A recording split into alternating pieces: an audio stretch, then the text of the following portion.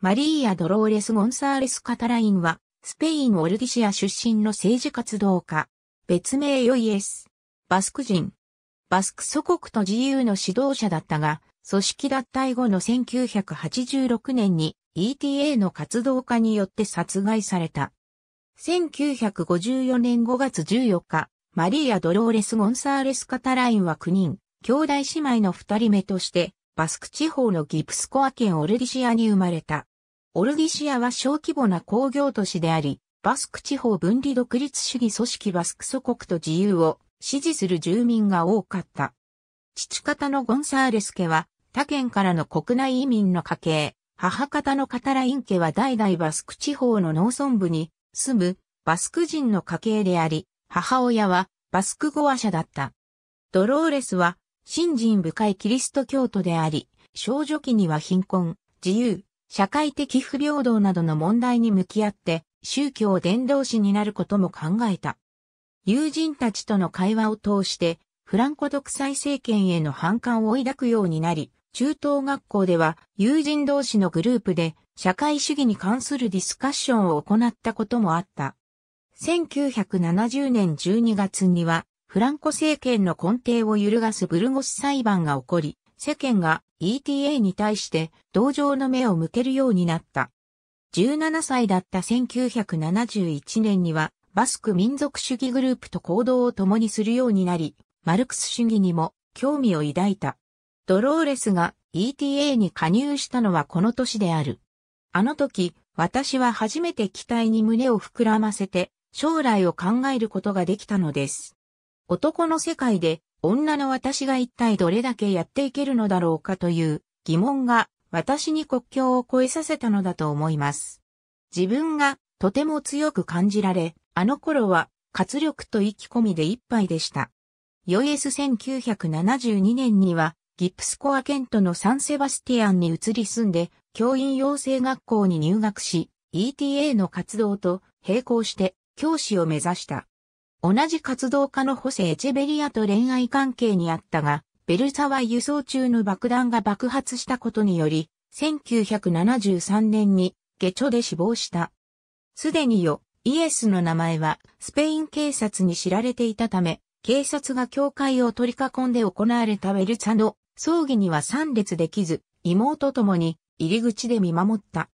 初めて関係を持った恋人の死去も大きな動機となり、19歳だった1973年12月15日に教員養成学校を中退し、フランス領バスクに移り住んで本格的に ETA の活動に参加するようになった。主力攻撃部隊であるベルチアックの責任者、エドゥアルド・モレーのベルガレチェの下で活動し、将来の幹部としての教育を受けた。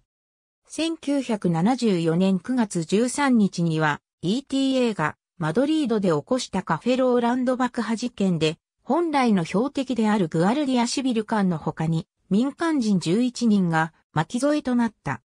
この民間人の巻き添えをめぐって、ETA 内で衝突が起こり、1974年には政治闘争派の ETA と武力闘争派の ETA に分裂した。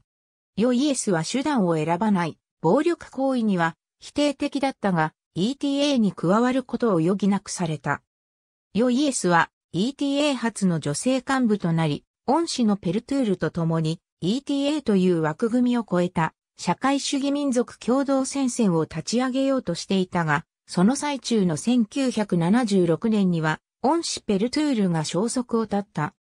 また1978年12月21日には、ヨイエスと最も価値観が通じ合うメンバーであり、また ETA の政治機関の最高責任者だったホセ・ミゲル・ベニャラン・オルデニャーナが ETA と対立する極右組織スペインバスク大隊に暗殺された。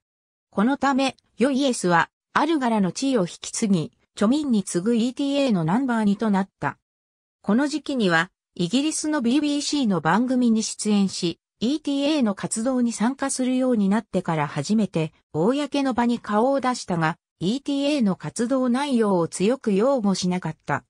25歳だった1979年には、フランス警察によって、フランス南東部の刑務所に1ヶ月ほど身柄を拘束される出来事があった。1979年10月には、スペインの民主化の過程でバスク州が誕生したが、ETA の活動は、この時期がピークであり、1979年から1980年の1年間だけで258人を殺害した。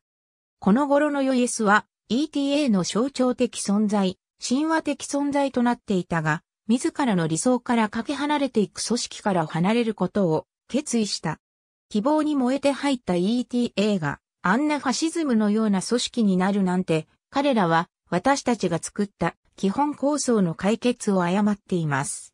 彼らは何のために人を殺すのでしょうか？